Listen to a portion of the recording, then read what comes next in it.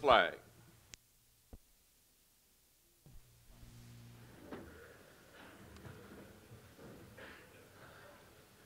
Many of you I know, and I'm sure there are many that I do not know.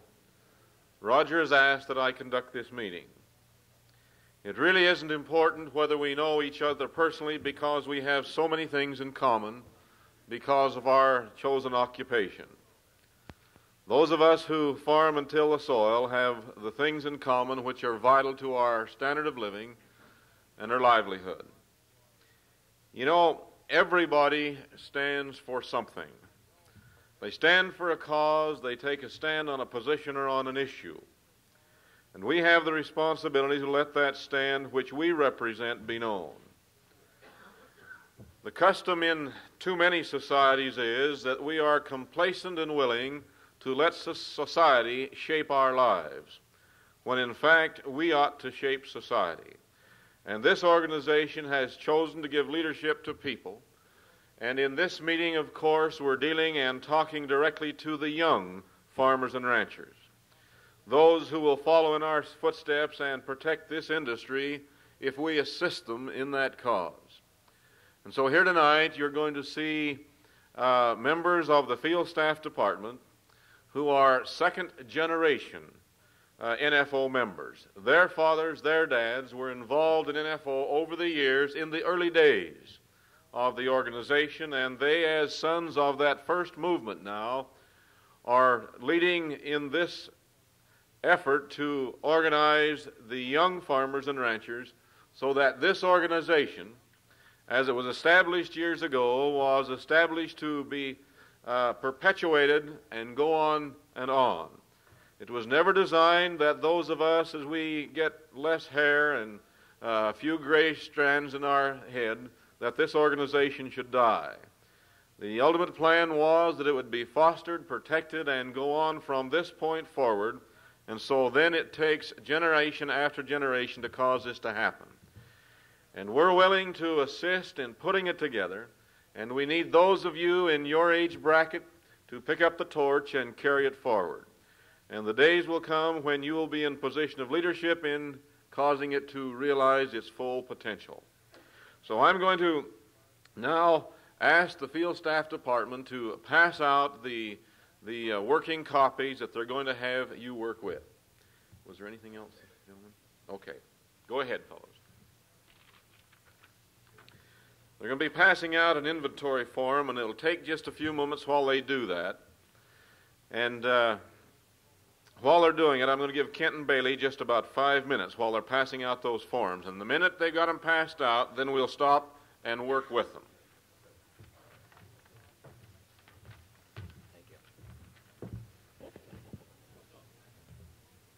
The few remarks that I'm going to convey to you this evening,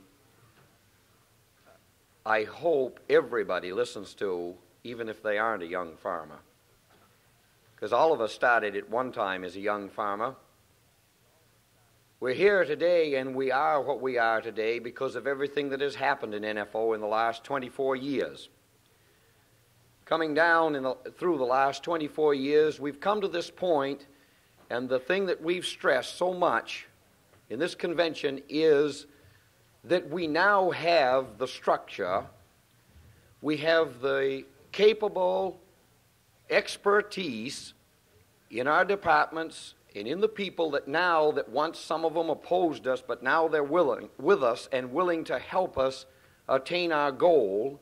And as we've heard our leaders say you can feel it. We're that close.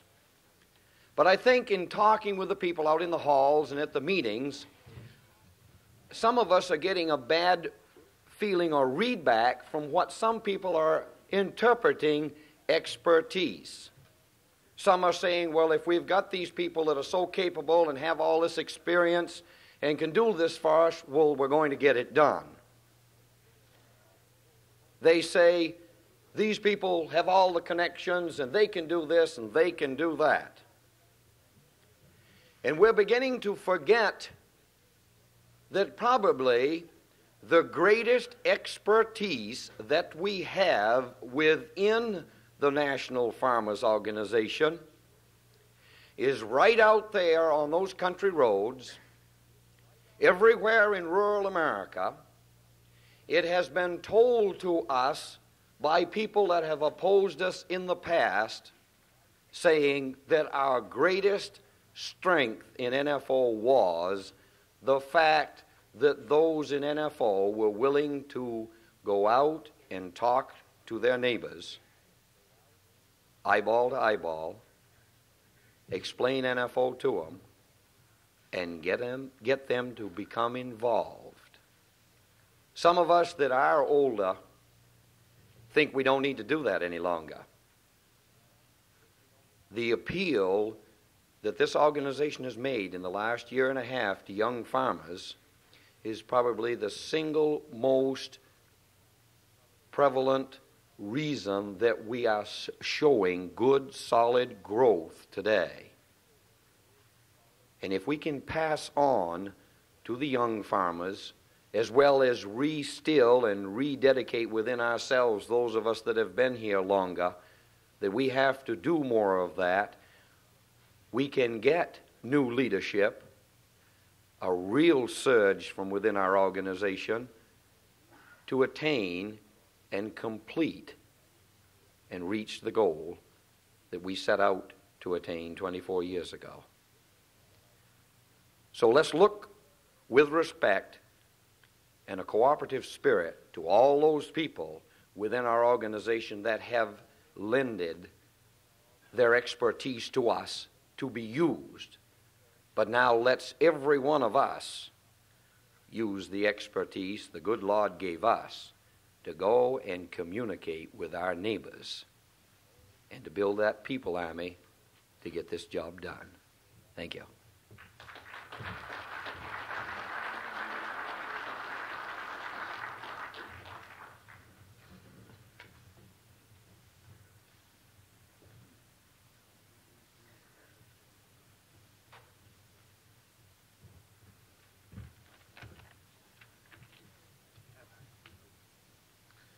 Before we have the Assistant Director, Dan Graff, instructs you on the inventory form, Walt Hackney, who is the Division uh, Director for the Slaughter Cattle Department, has uh, another appointment, and we'd like to, at this point put him on just a little ahead of schedule. So, Walt, if you'd come up, please. Well, ladies and gentlemen, uh, Mark Rolfing asked me this afternoon if I would drop over this evening, and I was more than willing. The only thing that bothered me is he gave me five minutes to discuss the cattle program, and that's like uh, running a Indianapolis 500 in four and a half minutes. Uh, it's a little hard to discuss what we have to offer in the slaughter cattle division in this organization. As Kenton Bailey so aptly put it. The emphasis, in my opinion, has been maybe too much on professionalism. Maybe the membership have become a little too self reliant on someone else handling that physical chore. I think what I'm getting at is this. Had you attended the slaughter cattle meeting this afternoon, you would have found that the emphasis there was on National Farmer Organization members who had a desire to express themselves professionally. That was accomplished in about 10 months in a learning period. Every man that stood up there this afternoon was a member exactly like y'all are tonight and attended those young farmer meetings in Corning, Iowa last winter and extended themselves into our cattle program. I have had people the rest of this evening coming to me. I had practically no input in that meeting today, but I've had people coming to me today and saying to me that where were those people 15 years ago? Well, they were sitting where you're sitting right now. Their fathers were sitting where you're sitting right now, too. You have the marbles in your pocket to play the game. I don't personally believe we've got to bring industry in here to impress this organization no longer.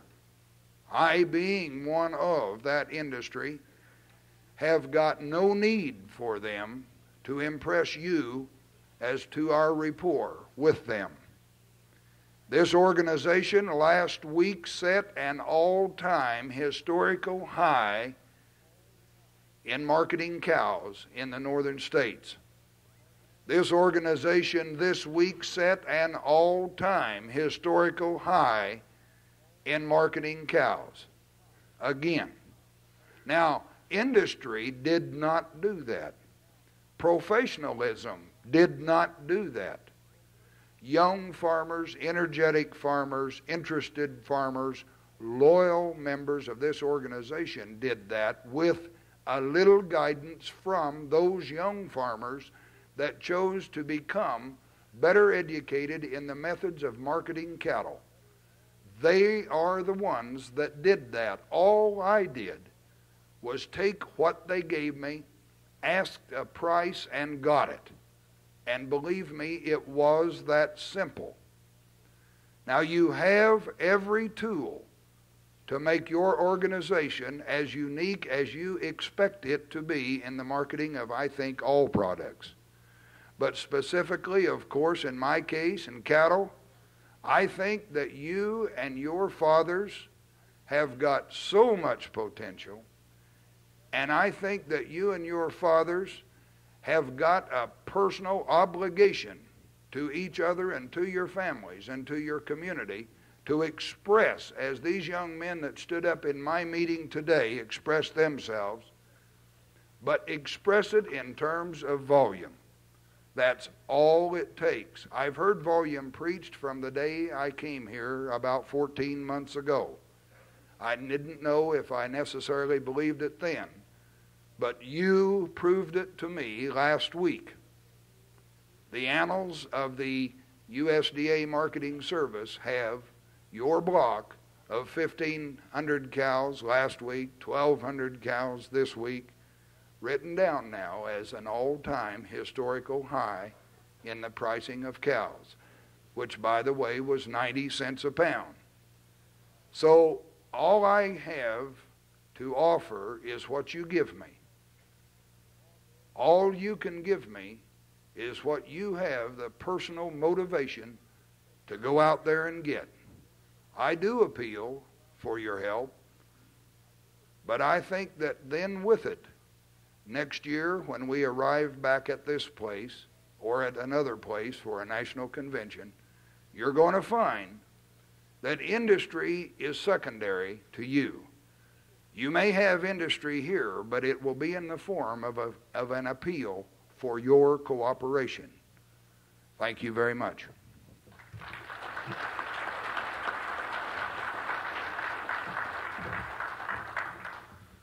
The theme of farm power has been carried throughout the convention. In the inventory form, farm power, Dan Graff will instruct you on how to deal with it. Dan?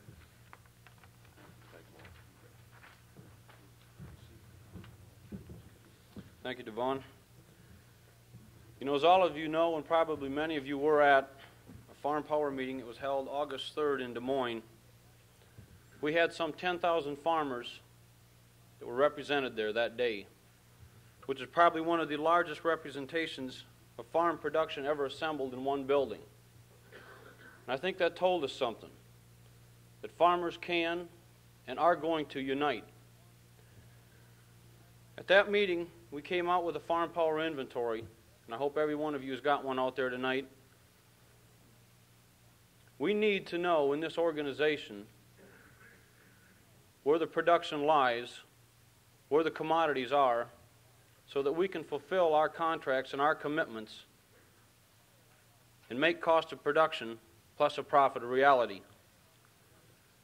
We've got a 16 county program out right now that's given us an opportunity to expand our contacts and increase in production going through the system.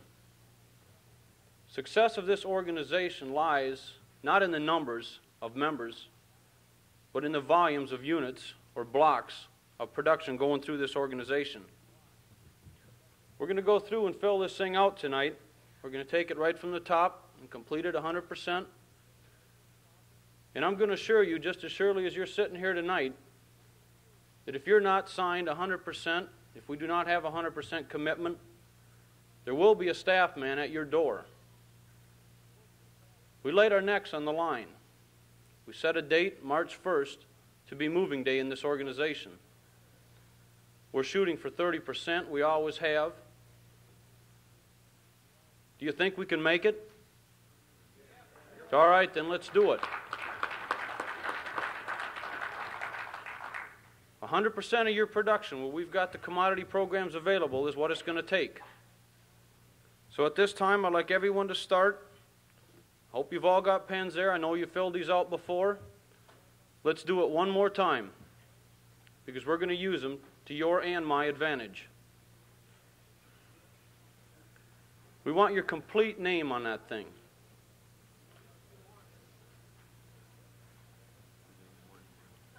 Does everyone have one out there? Is there anybody that we missed? Dalton, could you get these people one out here? Ray?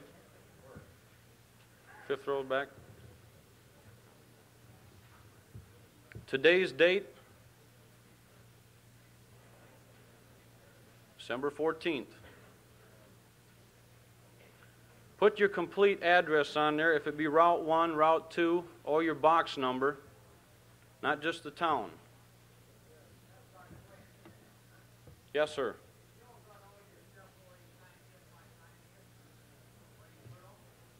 Hang on to it.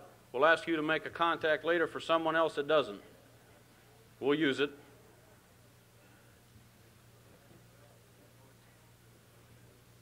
Put your county on there and your state.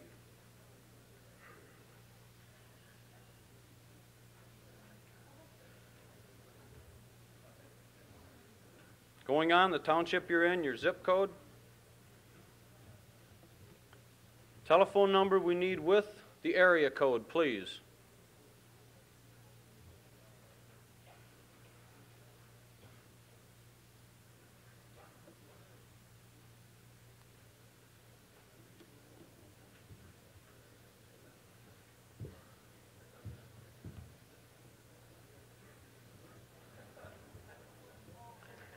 If you are or are not a member of this organization, please check one of the boxes, your age, an approximate dollar investment. Because we want to talk about that, and we're going to go into that with the next speaker up here tonight, as far as the average investment of the producers in, these, in this country today.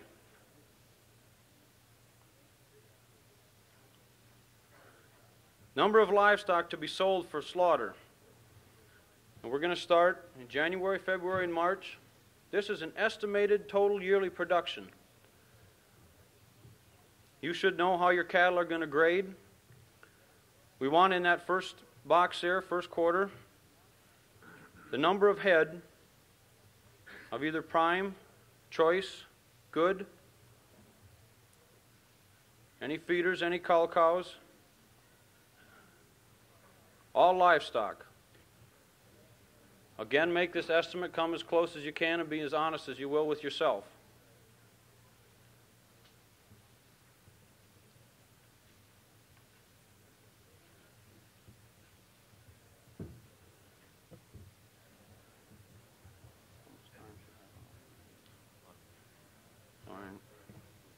Go through the hogs in the same manner, and the sheep.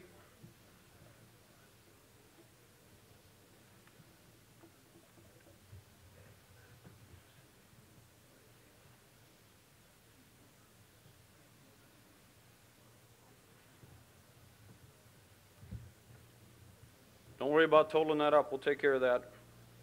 You dairy producers, whether you be grade A, grade B, number of pounds per year, average number of cows you milk, and if you are under contract with processor or other organization at this time, we'd like to know the name, address, and your expiration date.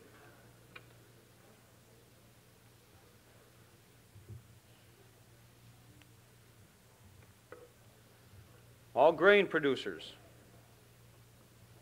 have the commodity, total produce in bushel, any on contract for sale, and any on storage on the farm now or in commercial lot, commercial storage.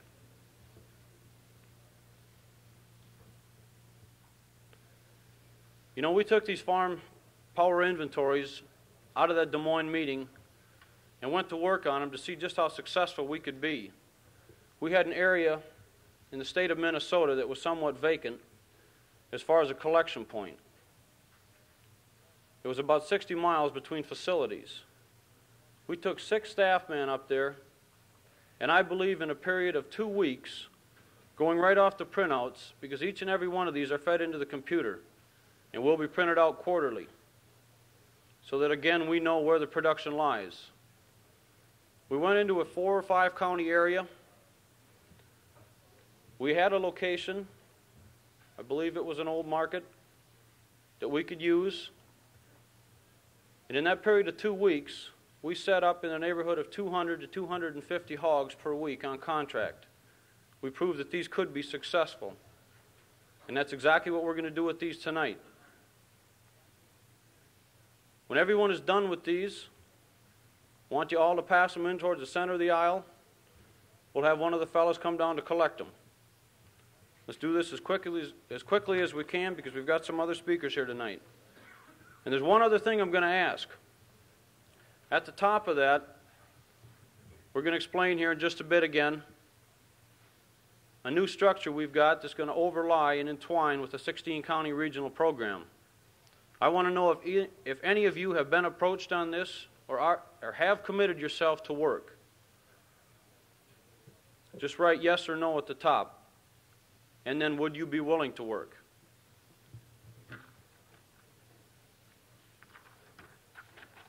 Yes, sir. Contract for sale. Can everyone hear me back there?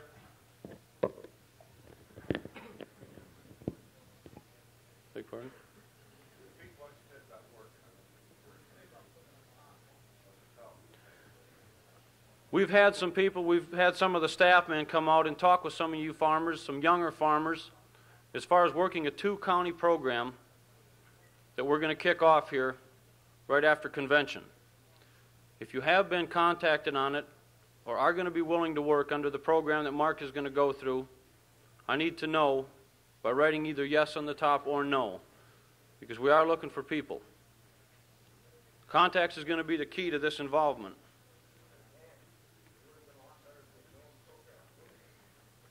Well, okay, that's a good point, Glenn. Some of you have already been contacted. If you have, just put a yes up there or no if you are working or not.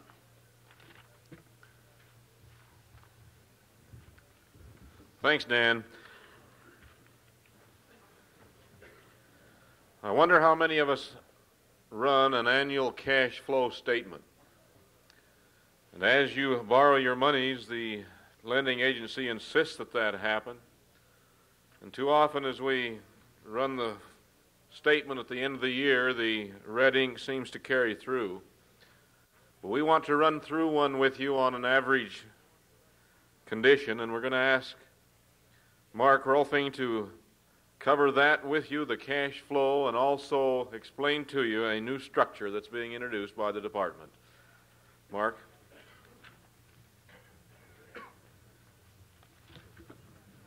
Thank you, Devon.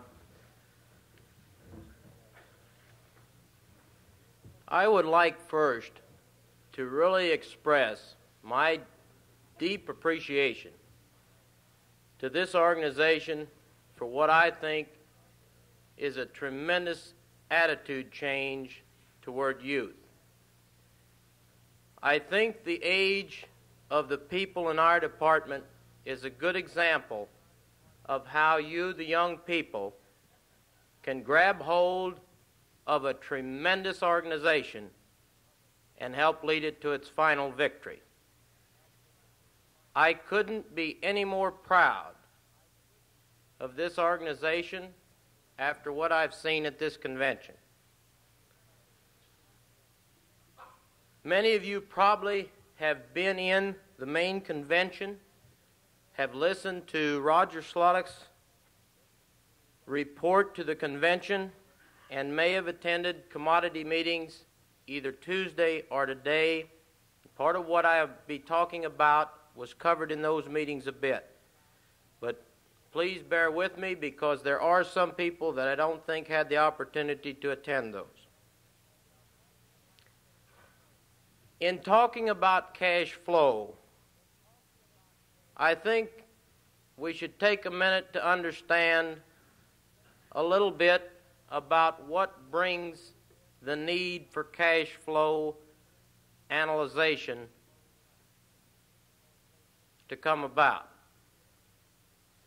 Last year, or in the year 1977, as a group of farmers, not young farmers, but farmers in general, we had a net farm income of $21.5 billion. Now, that's a lot of money. That's more money than I'm sure most of us, or probably any of us, can comprehend.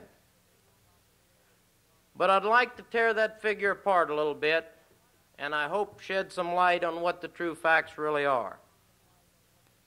During that same year, we seen the farm debt, the total farm debt of this country increase by $16.1 billion.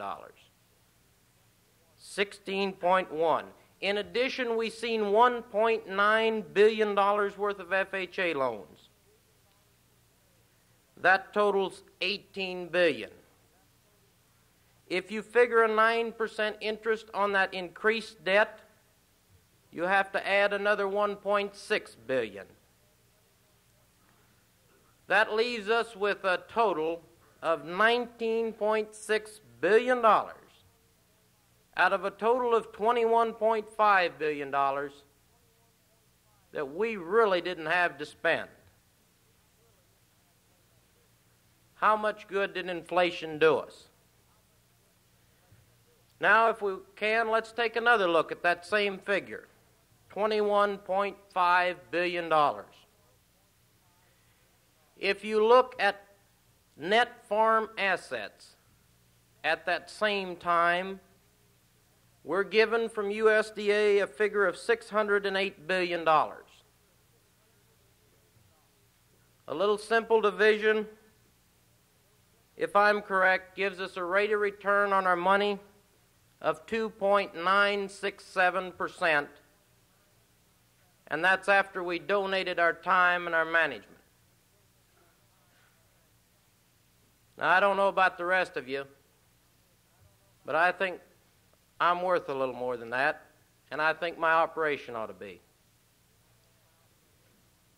Again, I asked you, because it seems that in the past few years, and especially since 1972, we have decided that we probably can't make money farming, but at least we can make money on that farm that we own. Well, granted, farmland in that year did go up 9%. And if you had a very big operation, that amounted to a lot of dollars of net increase. But let's look at general inflation. Look, let's look at the inflation of the prices that we had to pay on the farm. If we look at those, they went up 9.3%. So we lost again. Preparing a cash flow sheet is a chore and a headache. But I think if you look at those figures and think about them a bit, I don't think you can blame your banker when he wants you to fill one out. A startling aspect of cash flow, I think, is shown in this example that we used at the main convention, on the main convention floor Wednesday night. I'm going to turn this on and go through it. This is an example that we didn't put together. It was put together for a government study. Now, can everyone see that, or do we need to turn some lights down?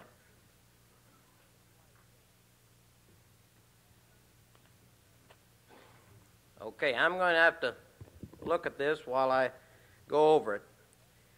But this is an average farm in Nebraska, and we can look down over the figures here. In the first column, you'll find the investments for land, machinery, improvements, and livestock. The interest rate there that you see is the common interest rate in that area. We have a place in there for your interest. This is just so, and we do have some copies of this that we'll pass out at some time, I think, where you can figure this out for your own operation. Continuing on, then, finance years is simply the years that these parts of your farming operation are intended to be paid off in. And I think they're pretty realistic. Now, in the lower part of this chart, you will find the columns show what your average first return, your principal payment will be. In the second column, you will find what your total interest will be. And then in the daily column, marked daily, you will find the total of the first two divided by 365. In this example, you will find that every day when you, as a young farmer or old farmer or any farmer, got up, you had to have $376.82 on a total operation worth $832,906 to get out of bed. I think that's pretty shocking. That's Nebraska. We'll move on to our second example. Here is an Iowa farm. Again, this is corn and hogs. The setup is exactly similar. You'll notice that the total investment here is $847,558. The interest rate and depreciation time is exactly the same.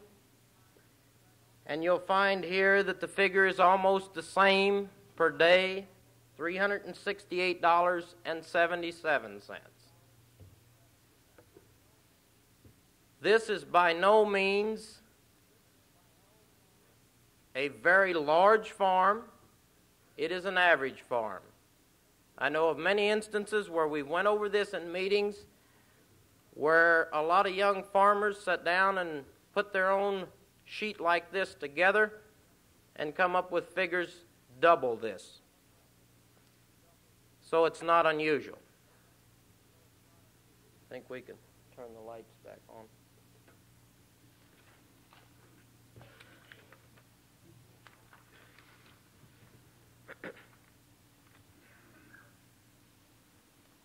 got to have them off again in a minute, but I hate talking in the dark.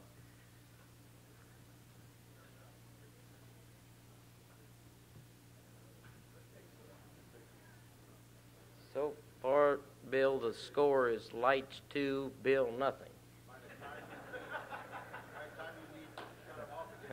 Okay.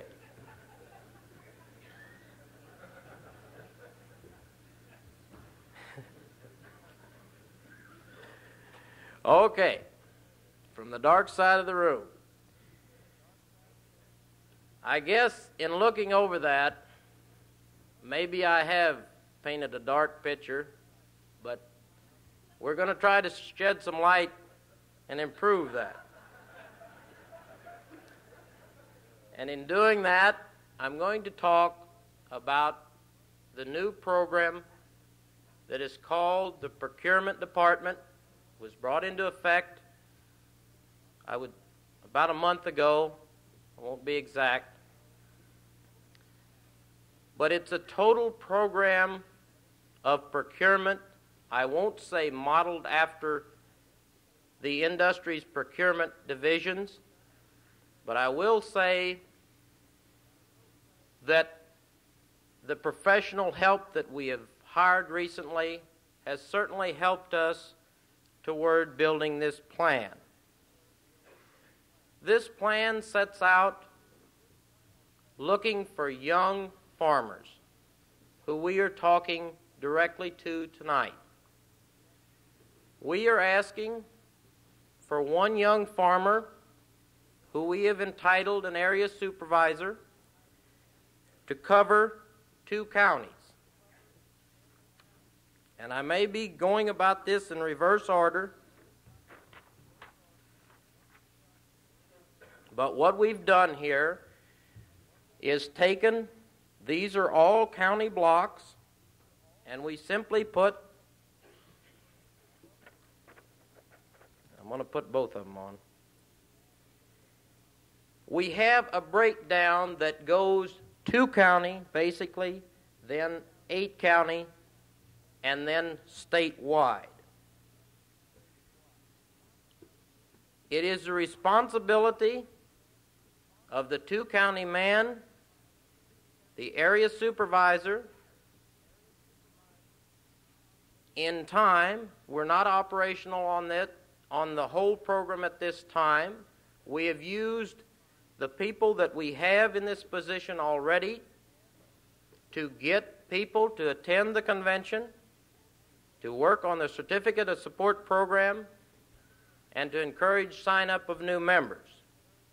But in time, we hope to expand this program to include the sign up and procurement of all the products we handle. The rest of the lines that you will see on here simply represent a management system. I do think they do bear some significance because if you will notice, you have a direct line of command. When you have a problem, your area supervisor is there. He, in turn, will work through the area coordinator, who in turn will work with the state supervisor. Many of you may be asking how this affects our regional coordinator program. In many cases, we hope that it can fit right down across this program and that these people in time can be used as an additional helping link in that chain. This system is set up to provide a staff man in every two counties across the agricultural producing area of this country. We have to admit some things about our organization up to this point, and one of them is that we haven't been able to staff in all areas as much as we'd like to. We feel this will allow us to put staff in areas where we previously couldn't. In addition, the benefits we feel will be more contacts per dollar. And let me explain that. We all, as farmers, understand efficiency. We've been taught it since we started farming and we know that it's a must. It's no different in an organization. When we have staff spread out over large areas, covering large areas, sometimes more than a state, it's not uncommon to encounter six to eight hundred miles per week driven. At 50 miles an hour, that's 12 to 15 hours of a man's productive week being spent as a professional chauffeur. If a man is within two counties of his home, he can spend a higher proportion of his time making contacts and doing the organization its best good. In addition, motel costs can be kept, and I think we're all here at this time uh, know quite a bit about what motel rates have done recently. We feel an advantage to this man is that he can drive on a producer's farm and talk to him about every commodity that that farmer produces. In the past, we may have from time to time, and we hope it didn't happen, but it sometimes did, a cattle representative drive on the farm in the morning, a hog representative come around in the noon, around noon, and maybe the grain man come around that evening. And about that time, the farmer figures, well, it's a pretty good three ring circus. Now, I think we can cut that down. And I think the logic behind this is that although we are, will never be able to be knowledgeable enough to handle the entire marketing of all products, we should be knowledgeable enough to procure them if we have farmers who are knowledgeable enough to produce more than one commodity. In addition, an advantage this staff man will have over our present system is that he will be able to use his personal respect in his community in making contacts. When we have to send the staff man three or four states from his home, that respect that he has built in that community at home is of no value to him. We feel that this can be a big asset to him.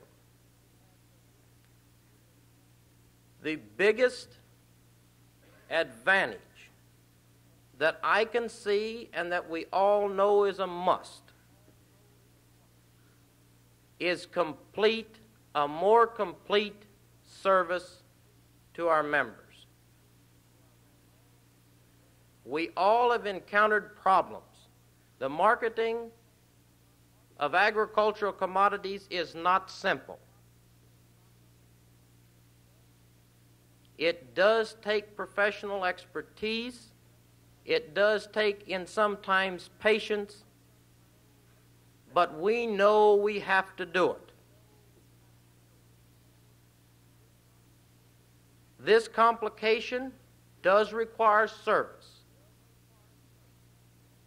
To keep a satisfied customer, of course, you have to service your clientele. Another aspect of this, strictly from a management standpoint, is that many of you know that in the past we probably have had a turnover in staff above average. Paying people on an incentive basis allows you to pay the people that achieve the most for what they do. If an area is not as well, if the potential is not as great, of course the payment cannot be as great, and we all know that. But I hope that each of you that can will seriously consider helping the procurement department and become an area supervisor. I think it will be a very rewarding experience for you, and in addition, be, can become a substantial part of your income. We have been working on this program now, like I say, for about a month or six weeks. We have at present, I think, somewhere near 350 counties covered. We do have a long way to go, and we have to ask your help. That, in a nutshell, is the procurement department program. Thank you.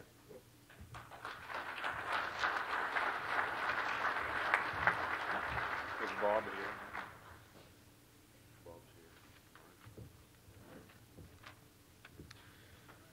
It would be pure folly if we introduced a new program and didn't give you some instructions or some aids to carry that out. And Bob Arndt has uh, some information here that he wants to run over very briefly with you on procedures and aids in your new assignments. Okay, thank you, Devon. Will the uh, field staff uh, people please pass out the booklets that I have along the walls here? Do it as quickly as you possibly can. Please turn the tape over to side number two.